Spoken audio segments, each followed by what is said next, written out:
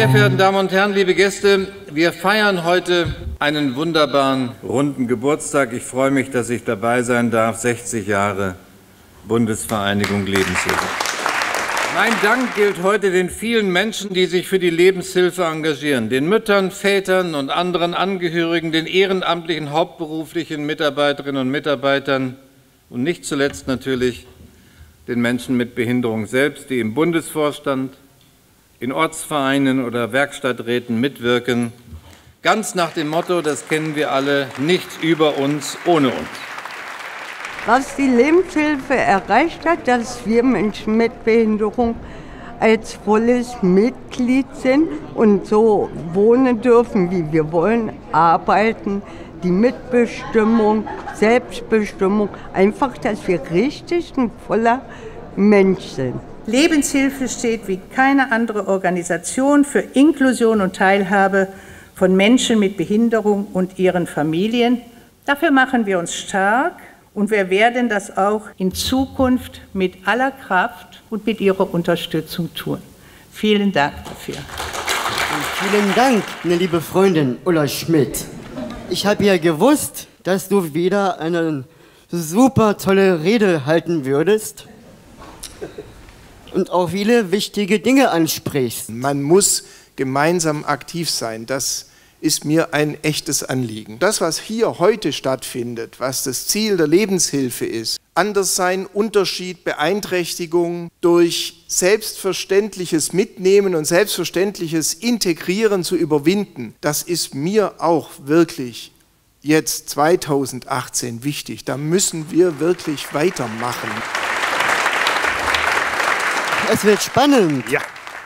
Die eigentliche Preisverleihung tatsächlich, Sebastian, jetzt geht sie richtig los. Ganz oh. plastisch, so heißt der Wettbewerb. Ich darf jetzt die Nominierten nach vorne bitten. Bitte kommt nach vorne. Die Vertreter von Itze Blitz.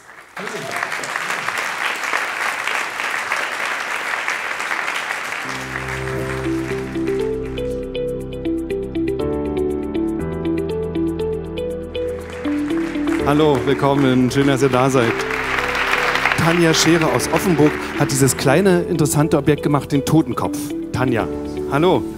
Dann kommt Michael Dinges aus Worms zu uns. Das ist Luft ab, Zeit für Demokratie. Das ist der, in der Mitte dieses Objekt, wo man denkt, der hat so lauter Nadeln im Kopf. Das Thema an sich, das heißt Demokratie.